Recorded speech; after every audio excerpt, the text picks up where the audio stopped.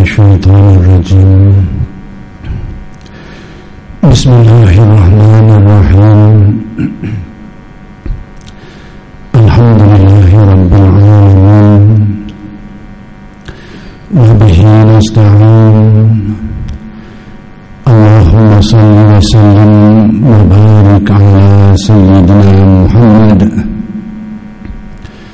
وعلى آله وصحبه أجمعين. رب اشرح لي صدري ويسر لي أمري. واحلل عقدة من لساني يفقه قولي. ولا حول ولا قوة إلا بالله العلي العظيم. ربنا افتح بيننا وبين قومنا بالحق. وأنت خير الفاتحين. ربنا أنزلنا منزلا مباركا وأنت خير المنزلين وصلى الله على سيدنا محمد وعلى آله وصحبه أما بعد السلام عليكم ورحمة الله تعالى وبركاته الحمد لله والشكر لله sekali puji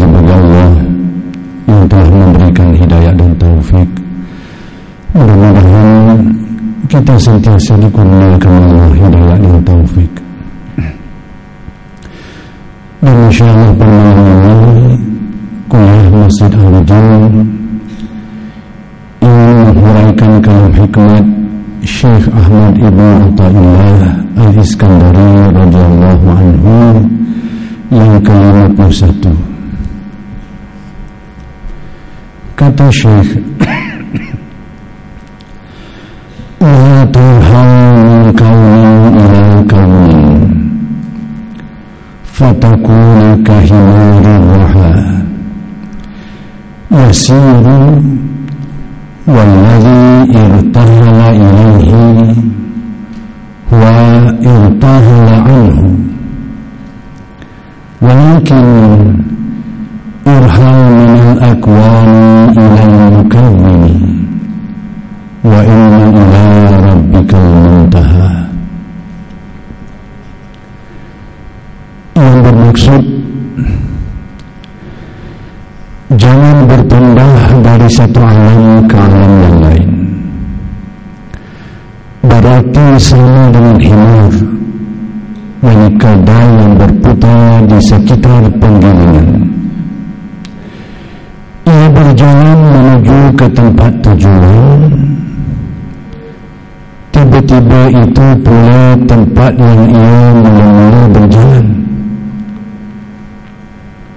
Yang tempat yang ia mula-mula berjalan daripada mana?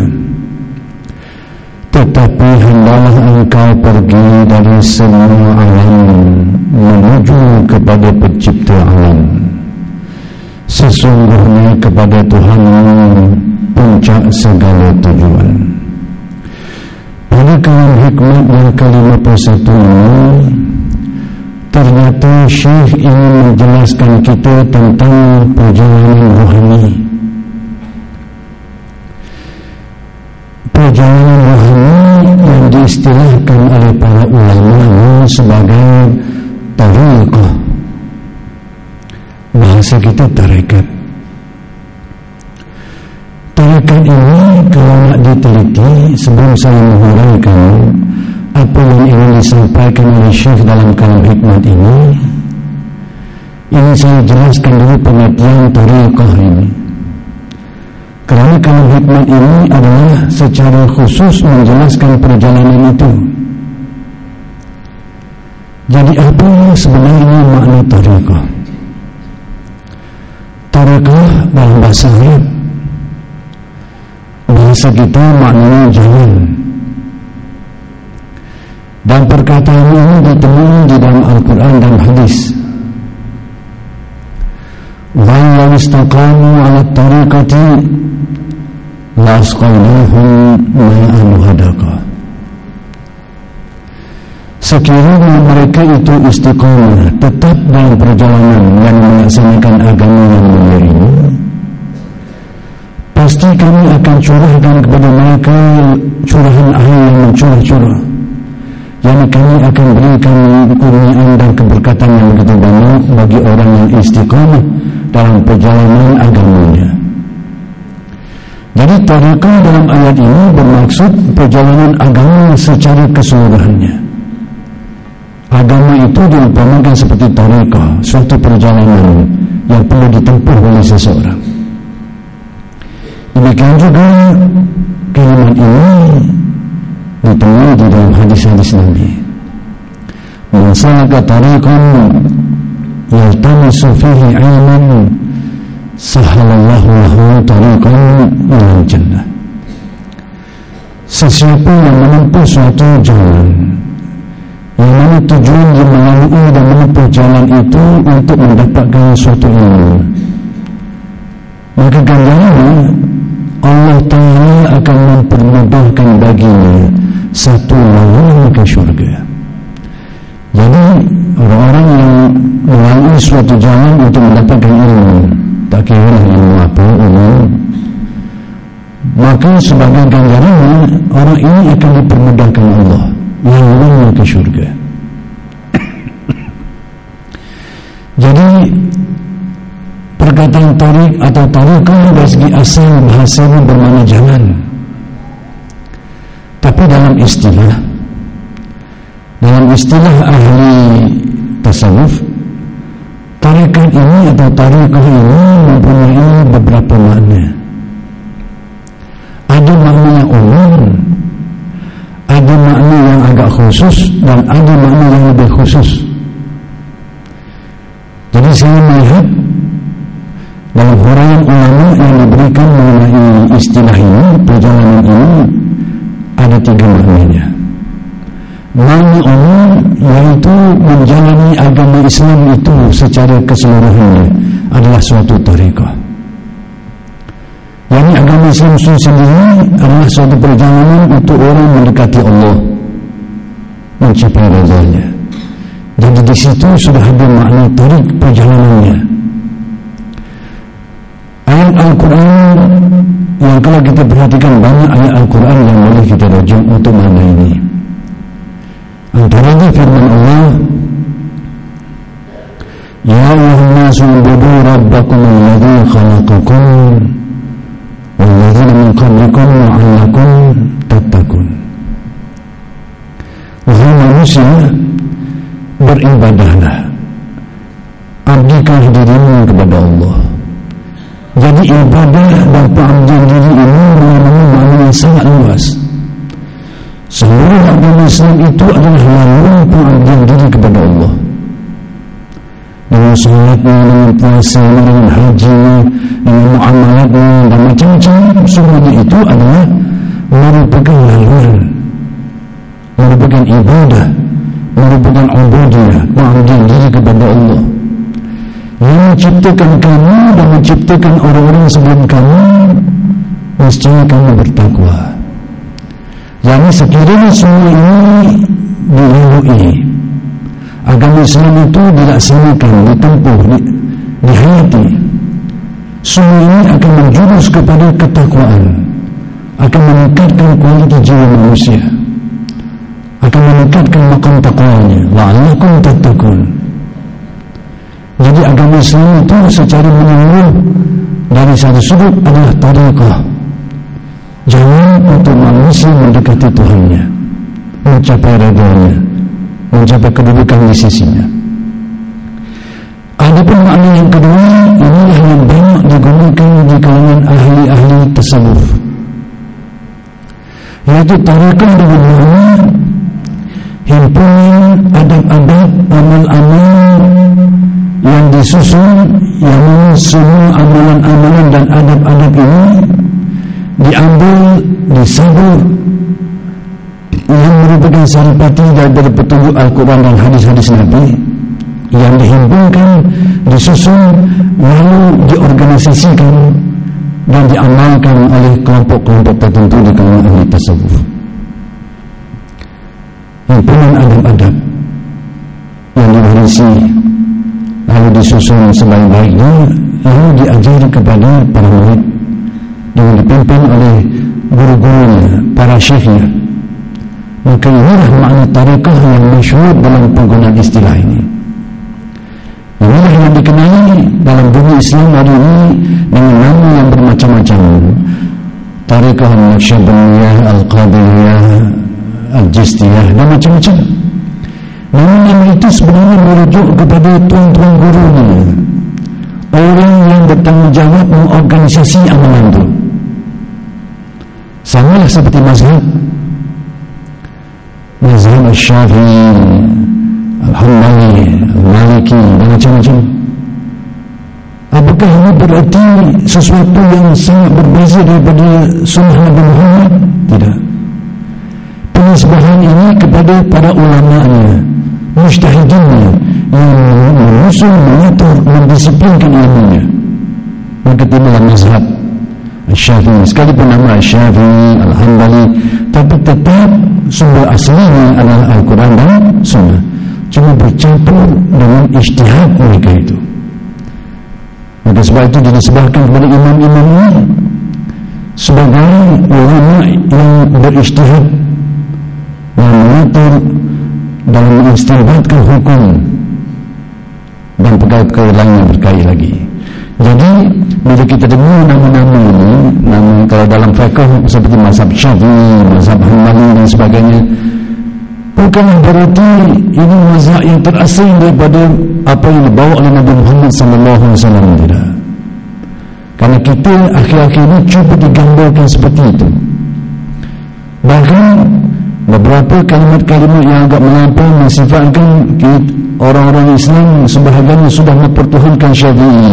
Mempertuhankan hambali adalah asal diikut imam syafi'i diikut imam hambali diikut imam maliki. Ini orang tak sehat fikiran nah. sedangkan imam ini hanya mustahidin yang beristihad mengenai tenaga untuk mengistimbatkan hukum dan dalilnya untuk mempermudahkan orang yang tidak mampu belajar agama daripada sumbernya ini tidak erti. Lalu kita ambillah petunjuk ini daripada imam-imam. Itulah yang dikatakan sebagai bermazhab. Kita ikut orang-orang yang tahu cara berisytihat hukum. Itu dalam mereka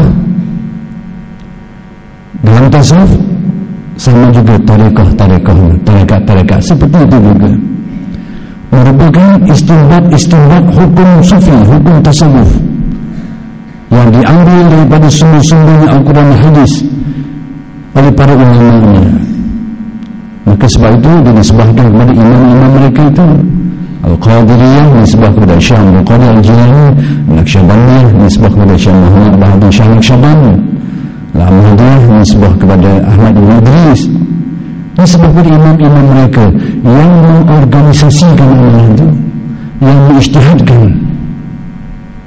sedangkan isi kandungan apa yang mereka bawa adalah sumber besarnya Al-Quran dan Sunnah Nabi Muhammad sallallahu alaihi wasallam. Ha. Jadi itulah makna tarekah yang masyhur. Tapi tarekah ini dalam penggunaan istilah oleh para ulama ini ada makna yang ketiga. Dan makna ini yang sebenarnya ingin digunakan oleh Syekh dalam kalam hikmat ini. Makna ketiga ini yang ingin digunakan.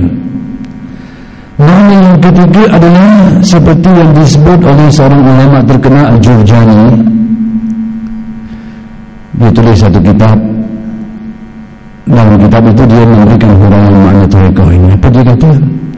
Tarekah itu As-sirah Al-Mukhtasah Bisalikin Allah Perjalanan khusus yang ditempuh oleh orang-orang yang berjalan rohani menuju kepada Allah. Dengan menempuh al-manazil halangan-halangan dilalui halangan-halangan satu-satu. Dan mengikat pada maqamat ada maqam-maqam yang dilalui yang ditempuh yang halangan-halangan dan maqam-maqam rohani yang perlu ditempuh satu demi satu. Macamlah yang ngaji ini. Daripada darjah satu naik darjah enam dilalui darjah dua, darjah tiga tidak nampak darjah enam lalu. Lepas tu dia masuk sekolah menengah pula masuk masjid lalu. Ha, Lepas tu satu-satu. Maka demikianlah tarikah Tinggal lagi tarikah ini khusus kepada perjalanan rohani. Yang ilmu ini adalah ilmu tasawuf lalu orang yang menempuh perjalanan tasawuf secara khusus ini itulah tarekah dan melalui makam-makamnya yang dimulai dengan at-tawbah yang dituruti dengan makam-makam dalam az-zuhdu al-faqru macam-macam lagi sehingga at-tawakul al-ridha lalu menempuh ahwal-ahwal yang tinggi. Hati merasa dekat dengan Tuhan melihat kenyataan-kenyataan ini dan macam-macam lagi ahwal-ahwal. Jadi proses-proses ini itulah yang dinamakan tariqah.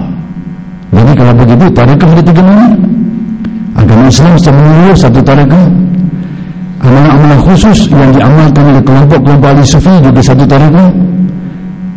Dan yang lebih khusus dari itu peningkatan jiwa manusia. Dan menempuh makam-makam itu sebenarnya tariqah. Jadi kalau hikmat syekh ini. Yang kelima persatu ini sebenarnya menjelaskan tariqah dari aspek yang ketiga itu perjalanan. Lalu sebab itu syekh ini menyatakan dalam proses perjalanan rohani ini ada beberapa hal yang kadang-kadang tidak disedari. Iaitu berlakunya perjalanan yang sebenarnya tak kemana.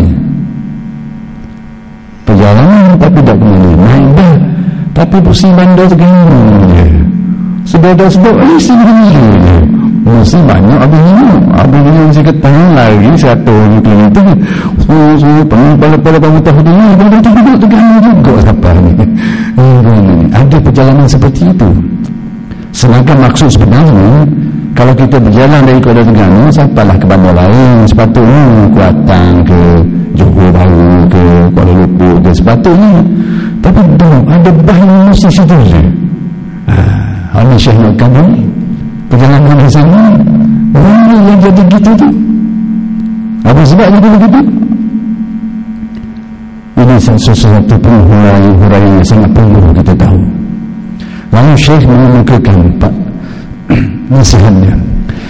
Jangan berpindah dari satu alam ke alam yang lain. Jangan sampai perjalanan ini adalah merupakan perpindahan daripada satu makhluk ke makhluk lain juga. Ini perpindahan perjalanan tidak berlaku. Ini bahasa yang mudah daripada makhluk ke makhluk juga. Harus sepatutnya daripada makhluk kepada Allah. Daripada dunia kepada akhirat. Tapi kalau daripada makhluk ke makhluk juga ini mesti rambau eh mesti rambau ini mesti oh, banyak ada oh, masa pun habis tapi situ dia je kenapa boleh jadi demikian kerana dia tidak tahu hal tujuh tanpa dia sedar lalu dalam dunia tasawuf Kenapa boleh berlaku seperti ini? Dan perjalanan yang macam mana yang dikatakan perjalanan seperti ini? Apa sih yang bau ni? Ha. Tengok apa bayang ni. Jadi, kata Syekh, berarti sekiranya perjalanan kita seperti itu, maka keadaan itu diumpamakan oleh Syekh, berarti sama dengan himar, yakni keldai. Kalau kita perjalanan kita gitu, kita diumpamakan seperti suatu bangunan yang mudah untuk kita gambarkan seperti seekor keldai ini berlaku di negara Arab lah tempat kita tak ada begini ni seperti keldai yang berputar di sekitar penggilingan negeri-negeri Arab dia nak seduh air ataupun dia nak kisah gandum dia buat batu giling lalu orang nak motor dia ni letak binatang sekal Ha, ia pihak musim tu. Jadi musim misal tu tu. Tujuannya nak kisah gandum. Atas tengah tu nak buat musim kicir air. Kicir, kicir air, air tu. Masuk musim itu tu dia guna binatang. Dah kalau binatang lari serik nak nak tok uh, tali panjang ni. Hmm, awak-awak gitu. Oh, musim ni. Tapi apa tali ni? Ini tali mana? jadi teknologi pikiran yang zaman tu dia buat sistem bulatan tu ha, jadi kedai musim jugalah musim tapi kat dunia je ha, itu dari segi ha, yang dikenaki bukan itu yang dikenaki perjalanan tu lalu perhatikan bagaimana kedai itu. Yang berpusing itu. Di situlah tempat dia bermula dan di situlah tempat dia berakhir. Mesti balik situ juga ha. jadi itulah perjalanan. Kalau perjalanan mana kita daripada dunia kepada dunia seperti itu. Sepatutnya bagaimana? Perjalanan kita daripada dunia kepada Allah. Perjalanan daripada dunia kepada akhirat. Kalau dulu ibadah kita pun tidak ikhlas dan tujuan lain sekarang sudah ikhlas. Ada perubahan. Kalau dulu pekerjaan-pekerjaan kita yang harus ibadah sudah ikhlas tapi pekerjaan yang lain-lain adalah untuk menghimpun dunia semata-mata sekarang sudah tidak itu lagi. Sudah dipertimbangkan untuk menyimpan akhiratnya. Sudah berubah. Daripada dunia kepada akhirat bukan setakat itu saja. Lebih dari itu bagaimana? Kalau dulu hati kita banyak bergantung kepada orang banyak berpaut kepada manusia. Banyak mengharapkan makhluk. Banyak terpengaruh dengan pandangan orang. Kita begitu seperti itu. Sekarang saya mengikat hati yang berpaut kepada Allah. Keyakinan benar kepada Allah. Harapannya kepada Allah. Sudah meningkat itu yang sepatutnya yang berlaku dalam perjalanan Muhammad ini daripada hati yang menaruh keyakinan dan kepercayaan kepada makhluk sehingga hati yang bergantung berpaut benar kepada Allah sebab itu tanda hati seseorang disinari dengan nur hidayah kuat bergantungan hatinya kepada Allah dan yakinnya Allah berfirman dalam Al-Quran ومن يعتصم بالله فقد ila suratul mustaqim. Sesiapa yang benar-benar berpahit kepada Allah Hati yang berbuat tidak yang lain Orang yang Kata Al-Quran Sesungguhnya dia telah ditunjuki Ke jalan yang lurus Atau tanda. Sebelum kuat keyakinannya Kalau dulu lebih Melihat kepada sebab musababnya Dipengaruhi oleh pecah sebab musababnya Hari ini tidak kisah sangatlah. Ada pun ada tak ada usaha. Hati yang berpaut kepada Allah. Allah lebih diyakini daripada usahanya. Allah lebih diingati daripada yang lain. Allah itu lebih dipercayai daripada apa yang dimiliki sendiri. Begitu perjalanan hatinya. Daripada memiliki kepada makhluk sehingga memiliki kepada Allah. Kalau dulu kita malu pandangan orang padahal yang kita buat itu bukan salah tapi malu takut orang ni takut orang ni kata begitu. Macam-macam. Akhirnya tak kisah. Asalkan itu reda Allah nah dia buat. Asalkan itu dikenaki Allah nah, dia buat. Ni tak kisah lagi dah. Orang kata gajah lima lagi tak kisah. Kalau dulu dia terpengaruh. Hati sudah berubah kiblatnya. Kalau dulu kiblat hati banyak bermakhluk sekarang kiblat hati banyak kepada Allah. Inilah perjalanan spiritual tapi sekiranya perjalanan tidak seperti itu. Tidak seperti itu. Daripada makhluk tidak kepada Allah kalau tidak kepada Allah dia akan kepada makhluk juga. Inilah yang diperingatkan kepada kita oleh syekh jangan sampai perjalananmu daripada makhluk ke makhluk juga. Gana.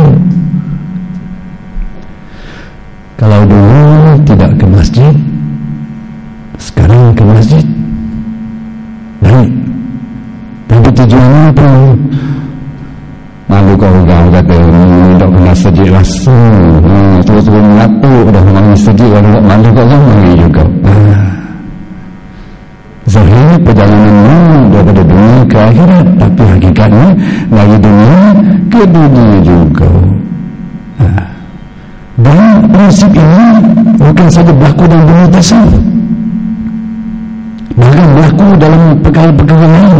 Prinsip seperti ini.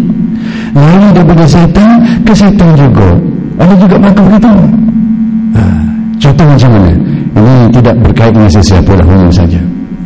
Kita nak lari daripada kaedah-kaedah yang melibatkan yang dikatakan sebagai kaedah-kaedah yang buruk dan setan contohnya lah. Nak lari daripada tok bumi tok bumi kau yang menggunakan japi serapuh bahasa kita tak faham pelik-pelik tu kita percaya orang baca Al-Quran. Tapi cara dia pun baca Al-Quran. Orang depan dia ditelanjangkan oh. Lari daripada setan ke setan juga. Alhamdulillah min zalik. Nah, daripada setan ke setan juga. Kadang-kadang berlaku dalam perkara lain. Berlaku dalam bumi politik dan macam-macam lagi. Dia buat perkara mungkar tapi cara dia guna perkara mungkar juga macam bahasa lebih sikit ini masa balak guna kecil. Perkara mungkar nak dia buat tapi cara dia guna mungkar juga. Cara itu mungkar juga. Bismillahirrahmanirrahim berlaku lagi tanpa kita sedar. Nabi Syekh sekarang menjurus kepada bidang tasawufnya ini sepatutnya ialah kita berpindah daripada makhluk kepada Allah tapi kadang berlaku dari itu. Nah, inilah yang ini Syekh mengedarkan kita. Memperingatkan kita. Supaya, supaya kita tersedar jangan jadi kita jangan jadi macam rumah tadi mesti ketangga tu lalu dalam dunia tasawuf kenapa boleh jadi begini? Inilah yang dijelaskan sikit lagi oleh Syekh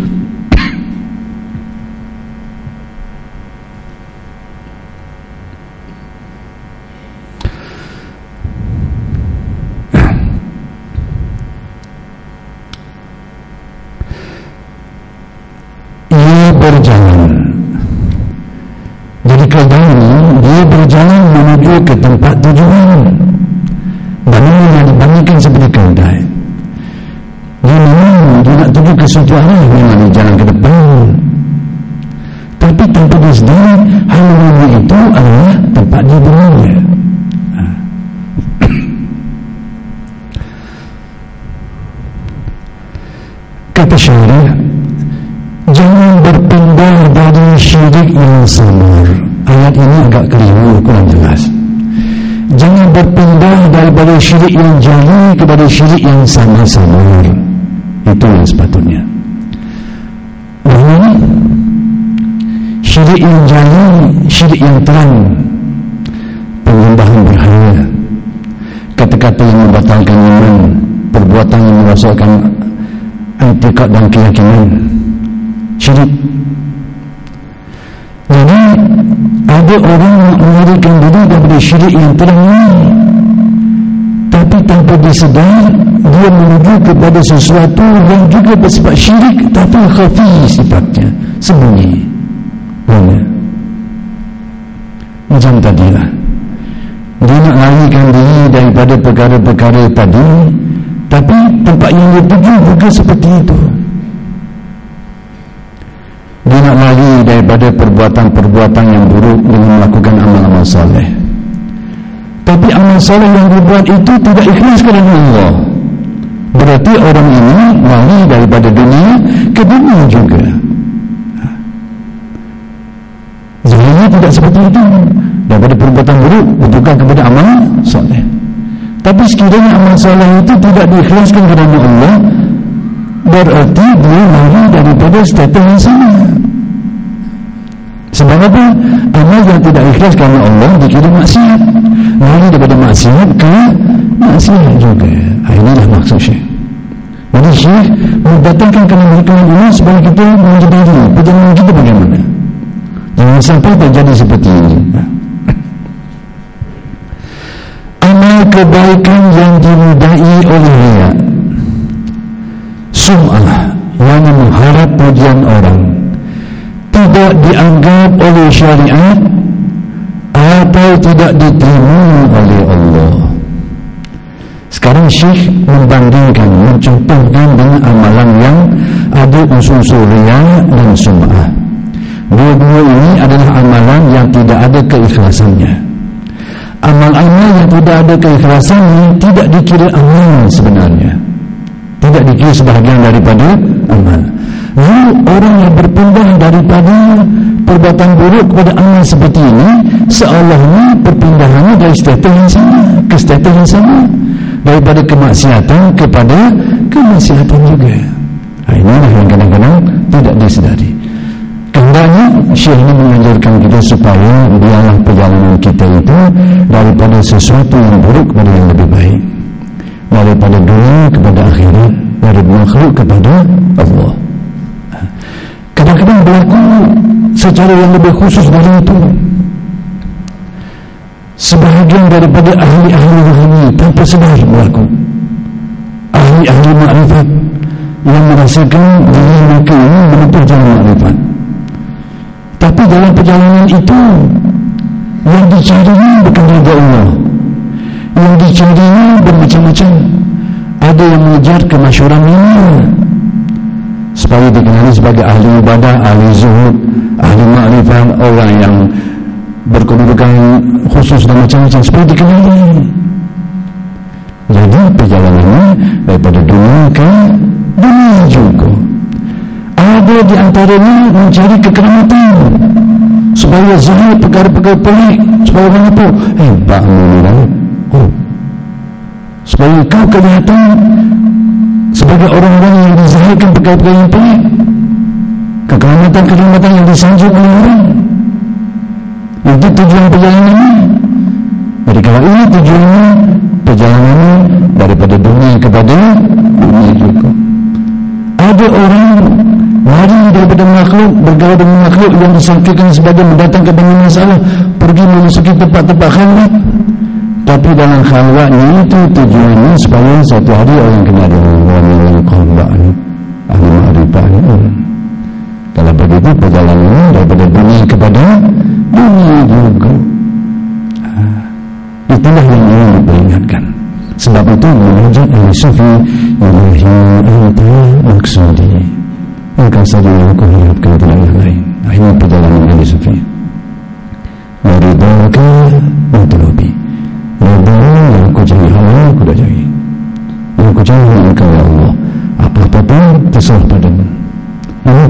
sufi yang dari perjalanan ini mungkin jadi perjalanan mungkin sapi mungkin itu mungkin macam-macam. Bukan perjalanan sufi. Sufi adalah orang yang hatinya ingin mendekati Tuhannya. Ingin mesra-mesra dengan Tuhannya. Mesra memberi hati walaupun keseorangan masa dekat dengannya masa yakin dengannya inilah perjalanan bukan mereka mencari kekeramatan bukan mencari kemasyuran. Ada pun kekeramatan yang mereka dapat yang diberikan yang dikurniakan kepada Allah itu tak jadi masalah. Yang jadi masalah bila itu dijadikan targetnya. Ha. sikitnya bukan jauh. Tak jauh. Masalahnya itu halang perjalanan ke atau tidak? Mendapat semua itu tak ada masalah maka dinamakan karamah karamah. Sebab apa? memang itulah yang hendak dimuliakan Allah. Bila Allah Ta'ala nak muliakan sebablah pada dia. Tak kisah. Tidak menjadi masalah. Yang jadi masalah engkau mengizinkannya engkau menjadikannya kosat dan tujuannya. Di situ masalah. Ini beza antara ahli rahmi dengan ahli kebatinan beza ni kat situ antara perbezaan ahli rahmi yang dituju dengan Allah. Ahli kebatinan lain dari itu. Realiti jauh ahli-ahli rahmi lebih dimuliakan daripada ahli-ahli kebatinan ini. Jauh. Maka sebab itu sikap ahli-ahli malifat bila mereka ini dikurniakan oleh kelebihan antara sikap mereka itu mereka cuba sembunyikan tapi kalau nak pecah juga nak kata apa? Tapi akhir sekali pecah juga orang tahu juga. Tapi jika mereka mereka suka menyembunyikan perhatikan apa yang berlaku pada seorang ahli sufi yang asalnya seorang yang agak buruk. Sari As-Saqat ya, seorang ahli sufi yang namanya Bisharah Al-Hafi. Ini sebahagian daripada tokoh-tokoh ahli tasawuf yang terkenal dalam sejarah yang tercatat nama dalam kitab-kitab tarakat sebahagian mereka itu sejumlah mereka itu orang yang diawali dengan kehidupan yang kelam yang gelap. Uh, asalnya yang jahat. Asalnya yang tak sihat. Tapi bila sampai saat yang dimuliakan Allah pasti dimuliakan. Maka sebab itu jangan kita pandang kepada orang kita disuruh mengingkari kemungkarannya. Bukan secara total memburukkannya. Kita lain bila kita tengok dua rasa habis tak pakai naga dia kita jumlah ha, jumlah habis lalu jumlah kosong. Padahal 20 je dah kena 80 pun ada. Ada juga 20 baik dia tu.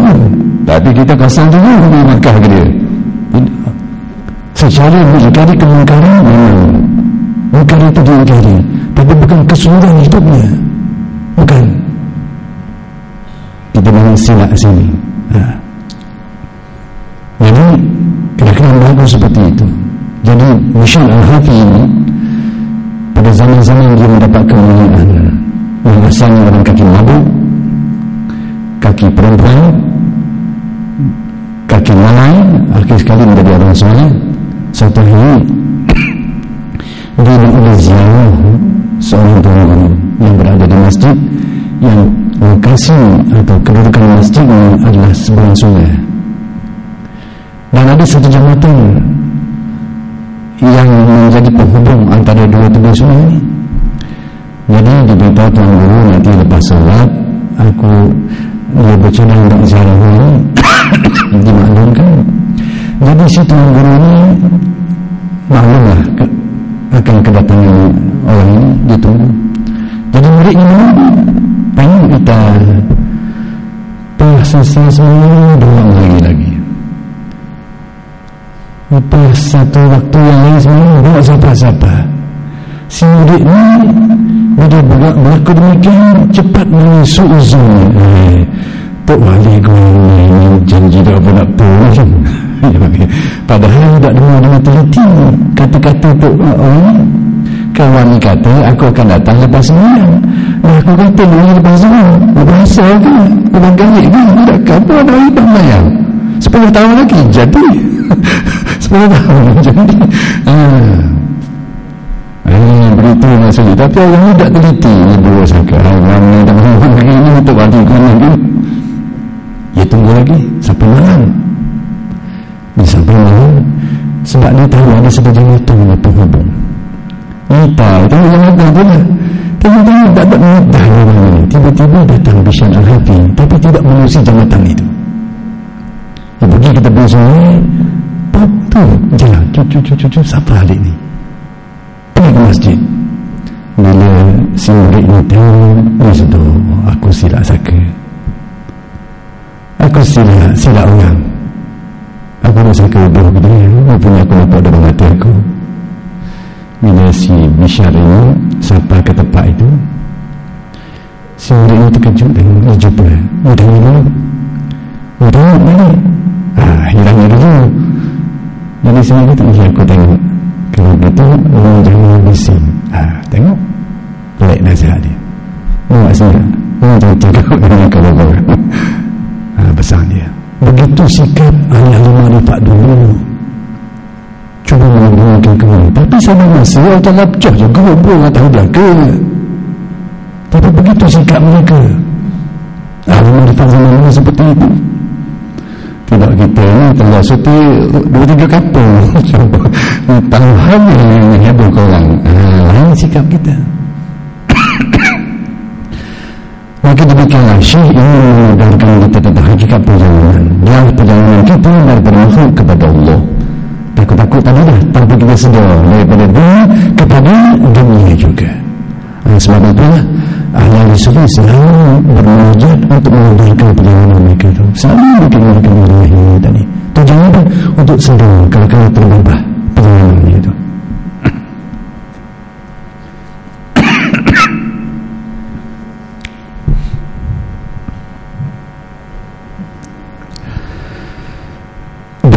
apabila telah bersih dari semua itu.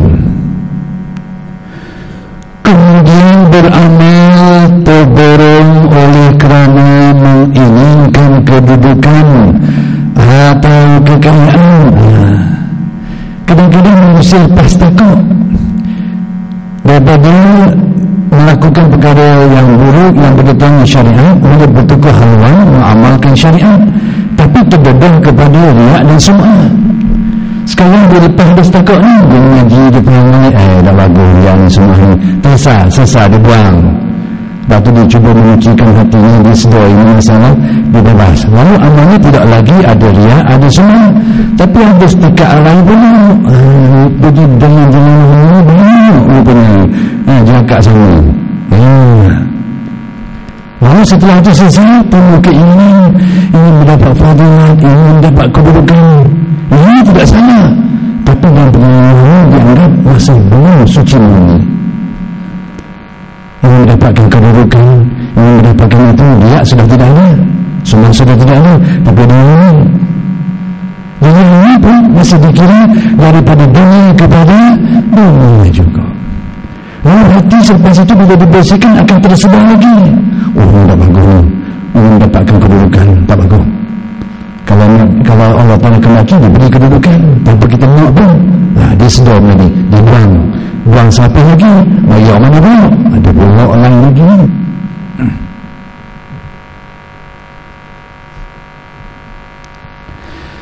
Atau kekelamatan dunia.